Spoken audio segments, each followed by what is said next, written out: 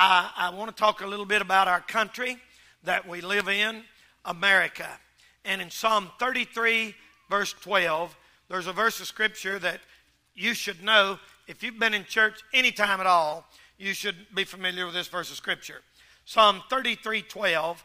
It's used a lot this time of year, and uh, the Lord been dealing with my heart this week about this. So look at Psalm 33 and verse 12. Blessed is the nation whose God is the Lord.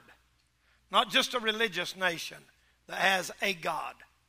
The nation whose God is the Lord, the right God. And the people whom he hath chosen for his own inheritance. I understand that verse of Scripture was written primarily to the nation of Israel. I also understand that you can use the scriptural principles that could apply to any nation that's ever been or ever will be. I want to preach this morning on America, our country, America. A lot of people today are against patriotism, even a lot of Christians, because our country is so messed up, they think we shouldn't be patriotic at all. And that's wrong. It is our country. Right or wrong, it's our country that we live in. I'll talk more about that in a minute.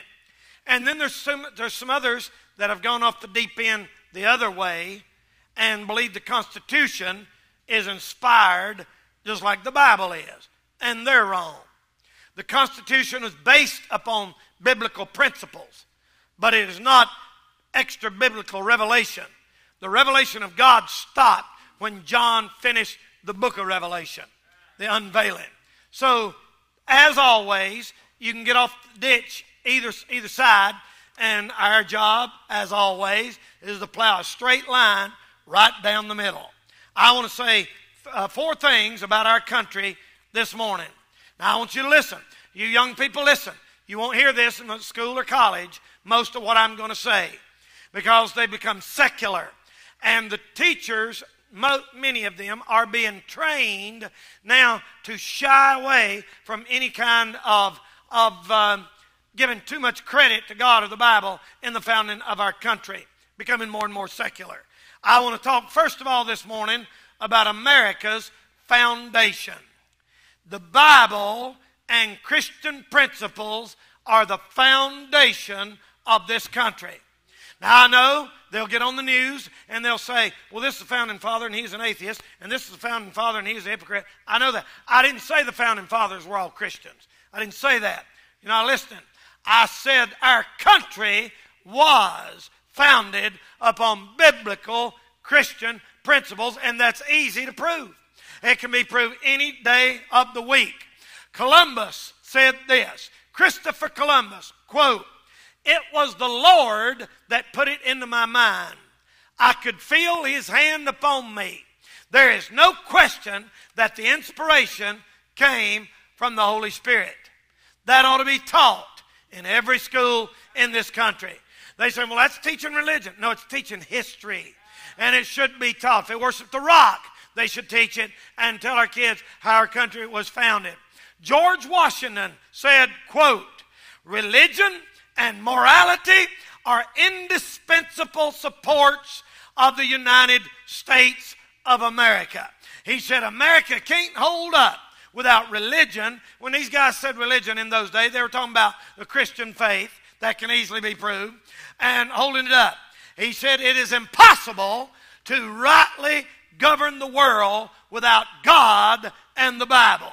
And he did not say Allah and the Koran. He said God, Jehovah God, and the Bible. Every time they talk about religion, every time they talk about God, they was referring to the God of the Bible that me and you believe and preach. Abraham Lincoln said, quote, the Bible is the best gift God has ever given to man. That ought to be taught in school. John Adams said this. Now listen to me. He said, We have no government armed with power that is capable of contending with human passions unbridled by morality and religion. You want me to say that so you understand it? It said that, that there's no such thing as, a, as law that can keep people hemmed up when they're full of the devil. That's what that means. Unbridled human passion. And he said, Our Constitution was made for a moral and religious people. It is wholly inadequate for any other. You want me to say that so you can understand it? He said the Constitution of the United States was made for people that believe the Bible, and it won't work with other people that don't believe it. That's right. And we're seeing that fulfilled in our very day. All the distinctive features and superiority of our republic are derived from the teaching of Scripture. As a matter of fact, we don't hear it much. You'll hear it, get the Baptist and their background message that I did here back here a few months ago. It's on YouTube, Baptist and their background. But Baptist preachers and their congregation were instrumental in forming the foundation of our country, the United States. Right down here in Kings Mountain, North Carolina, there was fought in the Revolutionary War. They still have Kings Mountain Park down there, and shows you where that big battle was fought. And they had a, a they had a big battle and a war down there. And the old, old Ferguson of the British Army, Army uh, uh, former uh, uh, British Army, was stood on top of Kings Mountain and said, "You you people will never win this thing." He said, "God Almighty couldn't move me off the top of this mountain." He ought not to have said that, should he? And there's a bunch of Baptist preachers got their congregations, local congregations, to go and fight. And one of them, uh, young, young man, his daddy was a preacher. His great, his daddy, great grandpa was a preacher named Tidence Lane. They pre- preachers got their whole churches together and they swarmed around Kings Mountain. And some of them stayed at the foot of the mountain and prayed. I'm not saying they were all Baptists, but they were led by Baptist preachers. And they went up and they got that, throwed that old boy off the top of that mountain, and they said his foot got caught in the stirrup of his horse, and it drug him off down through the country somewhere. And Thomas Jefferson said that that battle in Kings Mountain turned the tide of the Revolutionary War. We also learn about our government. And up in Massachusetts, they passed a law against John Clark, another Baptist preacher, and they tried and got him in trouble. He went and came to America in 1637. In 1638, he founded a Baptist church in a country that he called Rhode Island, and he said, We're going to try a different form of government that's never been used in the history of our world. It's a government that allows its citizens civil and religious liberty. That means you can believe whatever you want, you can worship whatever you want, you can say whatever you want. Civil and religious liberty. He went back and studied it over in England, and he came back and many people don't know this, but George Washington sent James Madison to study the Baptist church and their belief. Because the Baptist church believe in, in civil liberty. If you don't want to worship, you don't have to. If you don't want to go to church, you don't have to. You have liberty. Every man has a conscience to serve God or not serve God, however he wants to do. And James Madison Patrick Henry and John Adams talked to General Washington, and they said, I think they've got a hold of something here. And they said, It's never been done before, but they came up with what we know as the Bill of Rights. And the Bill of Rights is what gives you freedom of speech. The Bill of Rights came up by, by people studying the Bible, and religious and civil liberties gave them nuts in California the right to believe whatever they want to believe or in Washington, D.C. And they still have that. And I respect their rights. They should respect ours. But these Baptist preachers came up and they, and they said this. He said, I think it'll work. And they adapted it in Rhode Island. And it wasn't long till every state in the Union had adopted that form of government, which means that the, our Baptist forefathers and Christians who were not Baptist were responsible for the setting up of the government of the United States of America, ladies and gentlemen. Uh, you, you, you can't explain it no other way. We're right beside Canada, and it ain't much. We're right beside Mexico, and it ain't much. And I'm not being critical. There's some good things in those countries. You can't open your mouth nowadays without somebody flipping their lid. But why has God blessed America? Why is America all the blessing?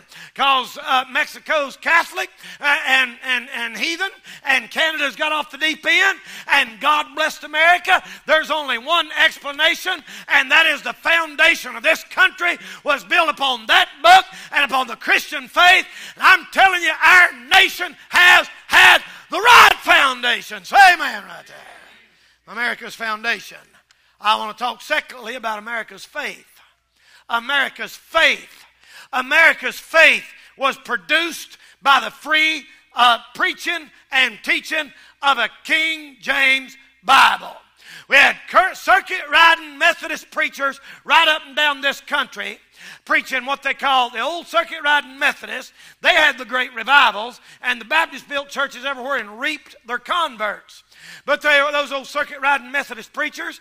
I mean, uh, uh, uh, Cartwright and uh, George Whitefield, Uh, John Wesley, some of those old preachers were not. Then it came up to Mordecai Ham, C.T. Studd, Robert Sheffey, and then, of course, to Billy Sunday, the J. Frank Norris, right on down to our generation of the big church, soul winning churches of uh, Dr. Sightler and Chattanooga and Hyles and Dr. Ruckman and all the, the Ralph Sexton and, and all and Phil Kidd and all these great. You know where they got their beginning? They got it way back yonder from George Whitefield. That's where we got the mourner's bench, the altar prayer. That's where we got the, uh, uh, the shaking of hands and fellowship. Them old Methodist, circuit riding Methodist camp meetings. They'd jump up and down. They'd clap their hands. They'd go shouting off in the woods somewhere. I mean, the Holy Ghost of God sent revival. America has produced more preachers, more missionaries, put out more gospel tracts. And if you want to know one of the reasons why God has not already dropped the axe, it's because there's still in this country Thank God this morning, a bunch of people scattered out that love the Lord with all their heart and are willing to give and sacrifice and send the gospel out around this world. I'm telling you, our country had some faith, and there's been a lot of people in this country that's had faith. Thank God, an old preacher named Joe Parson came to Nebo Baptist Church, and the power of God fell, and I got saved by the grace of God. And everybody in here, you ought to thank your lucky stars. That's a bad term. You ought to thank God every day of your life that you've been exposed to old time religion and old time Bible preaching and old time. The world will pull you the wrong way, buddy. It'll suck you in and drown you. You ought to thank God you've got enough light to follow the right way and got enough sense to keep you out of trouble from, from, and from the Word of God and the things of God. Lord have mercy. Um, listen, there's, there's thousands of churches, thousands of churches built in this country because people believed and preached the Word of God. America's faith. I can't tell you all the stories. Lord, I heard Ralph Sexton say, Ralph Sr., many, many years ago, I was friends with him. I had him preach for me many times. This old Dr. Ralph Sexton Sr., and I am Ralph Jr., too, his son, friends with him. And Ralph said many years ago, he said, You can take a map of the United States like this, and you can put a compass, point it down on Asheville, North Carolina. And he said, You draw a circle of 150 miles from Asheville. That takes in here down to Winston-Salem, up Chattanooga, Kingsport, Bristol, Johnson City, around in that area, Knoxville, and then down to uh, Spartanburg, Greenville, that spot. That spot. Have you wondered why the weirdos have come to Asheville in the last few years? The devil sent them there.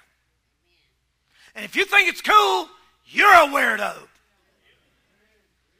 I remember going to Asheville 25 years ago. It ain't like going there now. Lord, there's old shouting women in every church, and there's Bible everywhere you look. Now, Lord, you don't know if you're in, you don't know where you're at, San Francisco, or, or where you, when you go down the street, there are crazy people beating bongo drums, channeling up demons. I tell you, he said there's more prayer. That's why Daddy, he come down here from West Virginia, and they finally talked to him. He said, man, don't stand a chance around here. You shake a bus and three or four preachers will fall out of it. And, and that's true. I tell you, we ought to thank God. We ought to thank God he put us right here smack dab on the buckle of the Bible Belt. I'm glad that I got to live here. I'm glad my mom was from Spruce Pine, knew God, and knew the right way, and knew the right spirit. And I got around old-fashioned preachers. I wouldn't take take every bit of the money in this world if you piled it up right here and said, trade it for your heritage and what God's done for you. I wouldn't, I'd laugh at you. Listen, there's no amount of money in the world worth what God's done for us here in this part of the country. Number three, I'm going to talk about America's failure. Liberty is not the right to do as you please contrary to what some people think. Liberty is the opportunity to do what you ought. One more time. Liberty is not the right to do as you please. You can't say, well, I got liberty, so I just go out and do anything I want. No.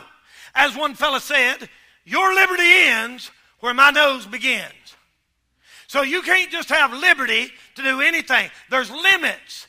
And it only works when people do what they're supposed to. It's sad to say this morning, but I'm going to report it to you. Back in the 50s, things begin to change. Our country was blessed like no other country's ever been blessed before. The Industrial Revolution, people was working in factories, making, that's what they call the American dream.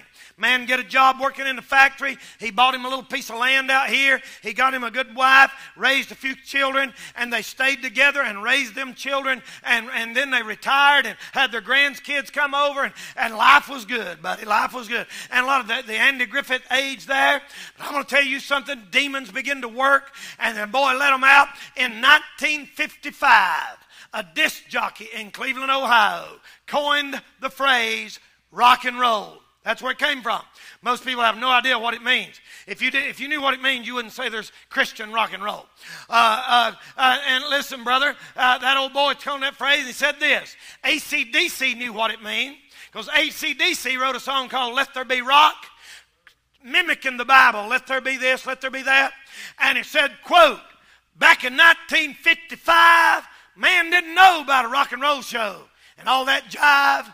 The white man had the smarts, the black man had the blues. No one knew what they were going to do, but Tchaikovsky, a composer, German composer, had the news. Let there be guitar. Let there be, uh, you know, uh, let there be this. Let there be that. Let there be rock. And rock and roll was born. And it came up through the, from the, uh, through, uh, from the south, southern Haiti and down in there up through New Orleans and begin to infiltrate this country. And you know what happened? Things begin to change.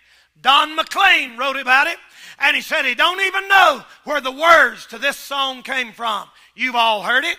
It's old song now, but it, it defined. A spirit gave him the words, and he said this Bye bye, Miss American Pie. Drove my Chevy to the levee, but the levee was dry. You say, I love that song. Yeah, well, uh, just listen a second. That song was written about the death of God. And that rock and roll would take over the world. No, it wasn't. It was about this singer who died. That's just his first, secondary meaning.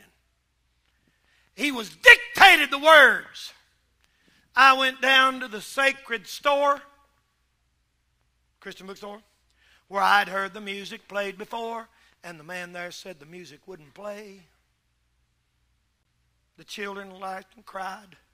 Steps were broken. The church bells all were broken. Three men I admired the most the Father, Son, the Holy Ghost. They took the last train for the coast, singing, This will be the day that I die. This will be the day that I die singing by what's American Pie? Pie in the sky. It's heaven. Don't give me that pie in the sky. We don't want that no more.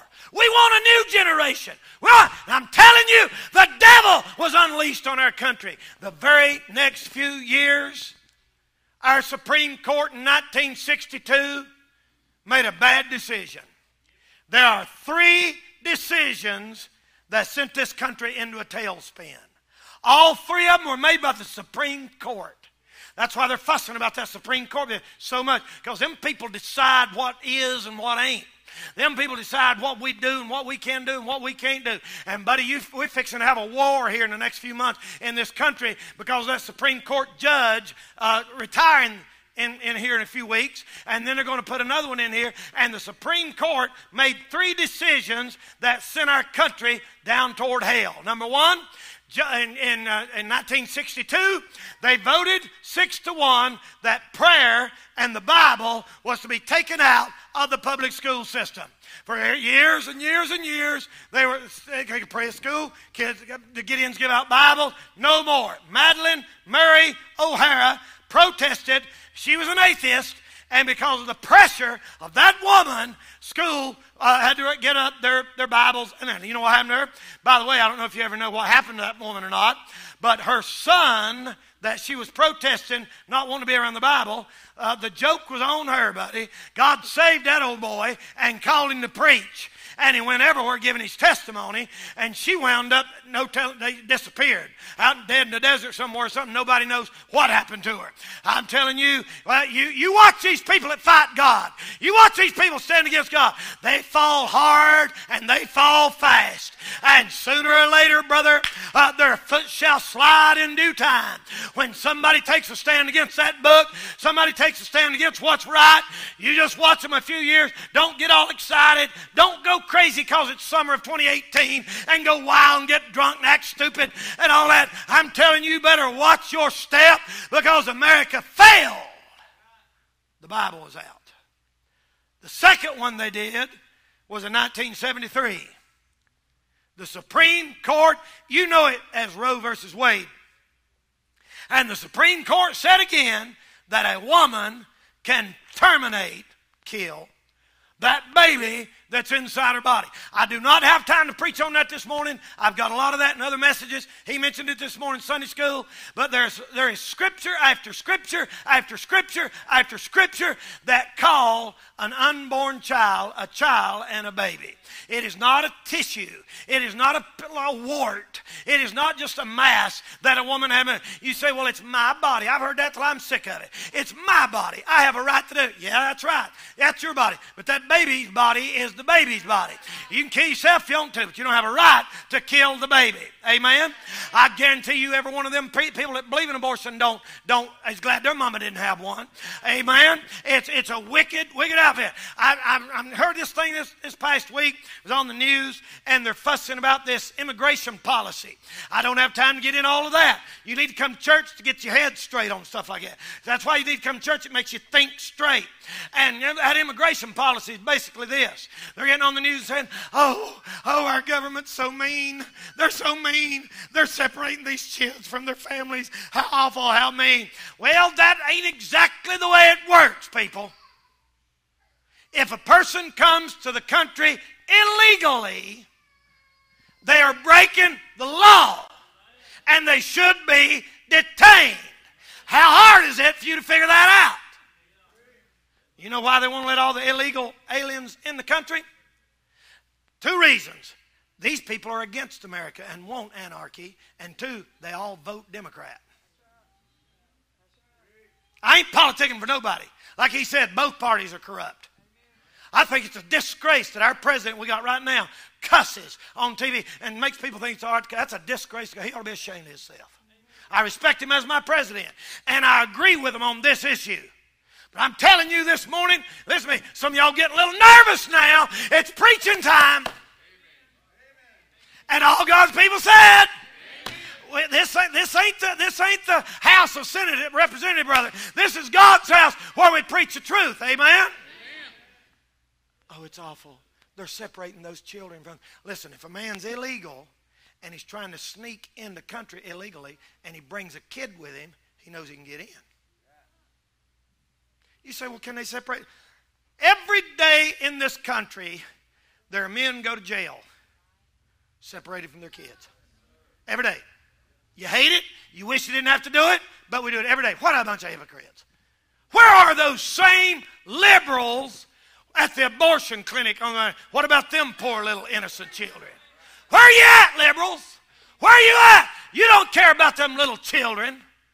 You want to advance your sexual lifestyle. That's what you're after. Well, he's, he's preaching now, y'all. Amen. The third mistake our Supreme Court made was June 2015. The first one is 1962, kicking the Bible out. The second one was 1973, making abortion legal. And the third one is 2015, when our country sanctioned same sex marriage. Nothing personal. I don't hate nobody. I love everybody.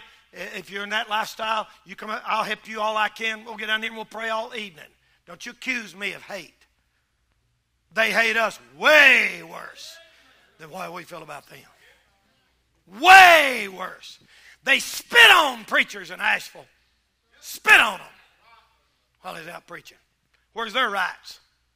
Some of y'all getting a little nervous, and I can tell you've been more time on TV and your wicked friends than you are reading your Bible. That's your problem right there. You're turning into a left wing Christian, whatever in a Sam Hill that is. That's like saying you're a good devil. The First Baptist Church of Dallas, Texas, was having a big service today. I think it's today. And they put up signs all over in Dallas. And here's all it said America is a Christian nation. That's all it said. And the, the mayor got on them, the pressure come on, and, and they made them take the signs down. Made the sign company take signs down. They said it causes division. Now you got a sign, got a big sign around it. We're three men hugging each other. Don't that cause division? That hurts our feelings. We're offended by that. Mm. Better go on right quick. Get this license. Some of y'all going to have a heart attack before you get out of here. Number four. Number four. I'm going to talk about America's future. I'm going to predict the future.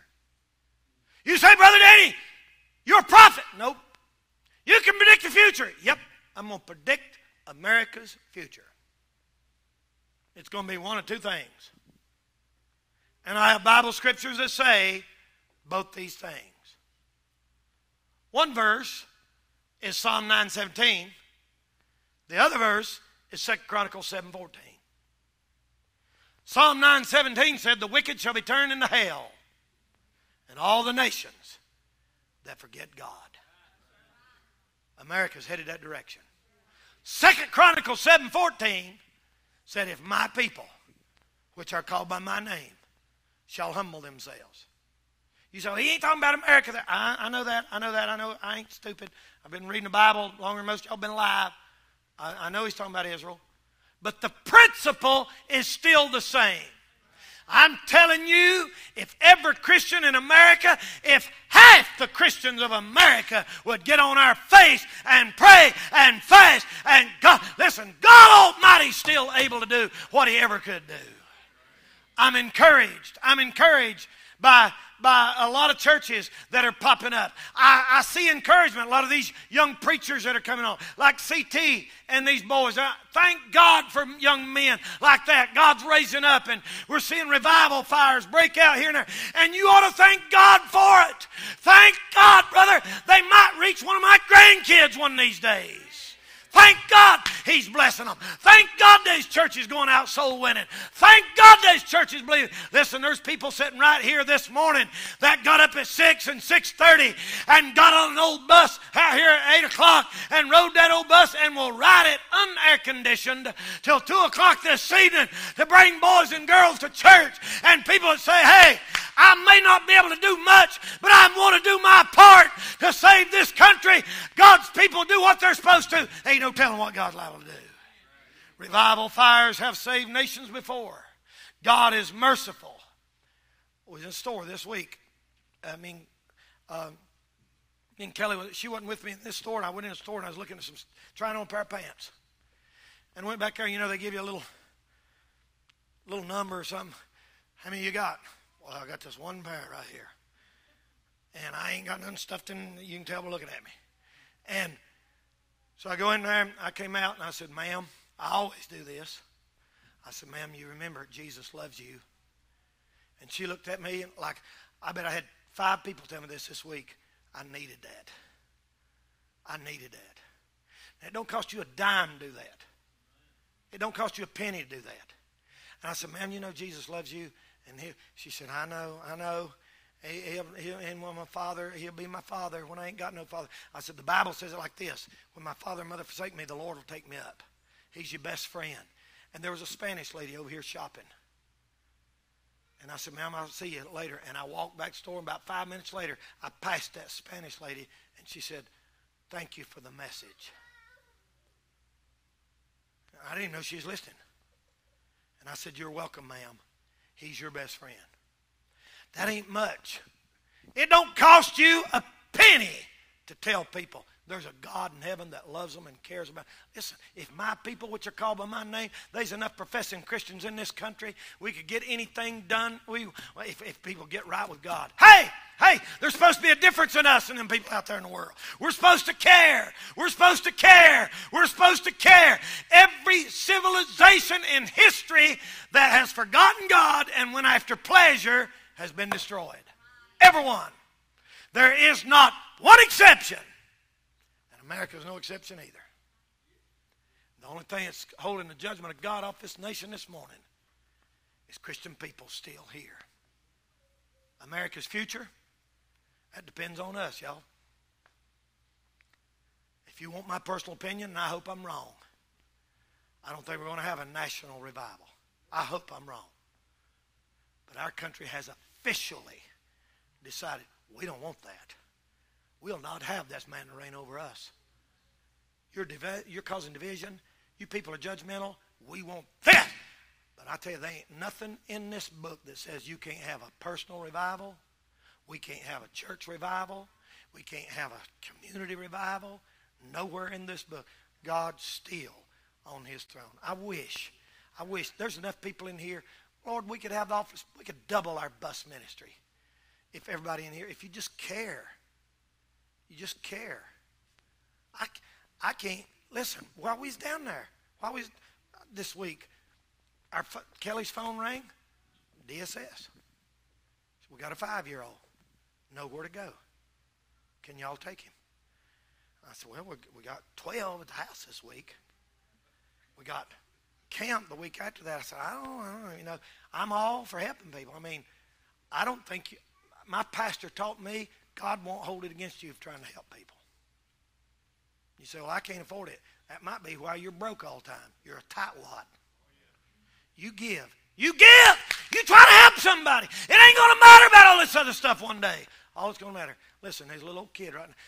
Half people in here, Lord, they, they're begging for foster parents, begging for. There's every week, got a five-year-old. It's sad.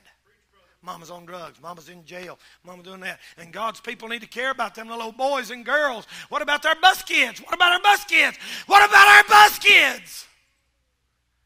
Our church might be the only hope some of them's got. There's some sitting here this morning if it were not for Shining Light Baptist Church, and I'm telling you this morning, I'm not trying to toot my own horn, but it's churches like this right here that reach out in the community and run buses and knock on people's doors. That's the hope for our country, if there is any hope in this nation today. Thank God there's some churches like this. I'm glad I go to a church where people, we knock on hundreds of doors every week. I'm glad. I'm glad I put my money in a church where they're knocking on hundreds of doors every week. And this Saturday, we're going to probably knock on 500 if it's God's will. This coming Saturday. That's the answer to our country. The answer to our country is not whine and complain about politics and who's in office. Listen, that bunch of nuts out there, they can't straighten out this country. Only God can get us out of the mess we're in. Let's pray about that future of America. I've given my heart. There's some bad things going on in this country. There's satanic temples where they worship the devil. When you see a truck going down the road the size of a U-Haul truck, not a U-Haul, the size of one like that that's unmarked, there could be eight or ten little girls in there getting sold. I mean, it's everywhere or boys. There's kids right here in this church today being abused. The only hope our country's got is for Christian people like me and you to get on our knees and say, God, I'm going to do something. I'm going to do something. I'm, I'm not just going to sit around and eat and sleep and let my country just go to hell. You've been so good to me. I'm willing to do something for you. Come on, let's stand this morning. Ever, they're coming to get a song. I want you to stand, by your head, please. Maybe God spoke to your heart this morning. Maybe the Lord has spoke to your heart.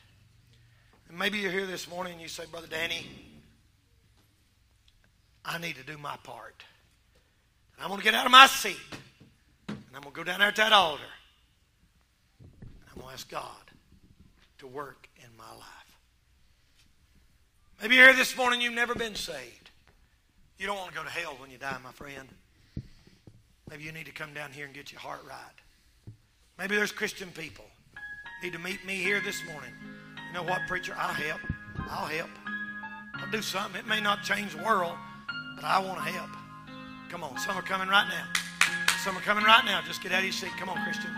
Let's get in this altar this morning. Say, preacher, I want to do my part. Father, I pray right now in Jesus' name. Holy Spirit. Oh, God, help us. Lord, bless us this morning. Give us that that we need. Lord, have mercy on our country. Have mercy on churches. Have mercy on families, on individuals. Oh, God, bless us again. God, send it one more time. Send old Holy Ghost revival one more time. We'll thank you for what you do. In Jesus' name we pray and for his sake. Thank you, Lord. Amen. Let's sing now. Softly Amen. and tenderly. Jesus You come this morning. Will you come this morning, friend? calling for you you and and, for for me. me. Amen. See on the. He's waiting. Waiting and watching, watching for You. He's watching for you. for me. Everybody, let's sing now. Come home. Come home. Come on home this morning. Come on home this morning. Ye who are weary. come home. Amen. Hallelujah. Earnestly, tenderly, Jesus is calling. Sinner. Come on home. Come on home. If you need to come, young man, come on right now. Everybody. Why should we, why should we tarry when Jesus, When Jesus is pleading, pleading. Amen. pleading for you and for me? Amen. Amen. Sing it now. Why should we linger And heed not His mercy? Mercies for you, for me. for me. Everybody, everybody ready? Come home. Sing it now. Come home. Amen. Ye who are weary. come home. Will you come on home this morning? Come on home. Earnestly, tenderly, Jesus. Jesus is calling. Amen.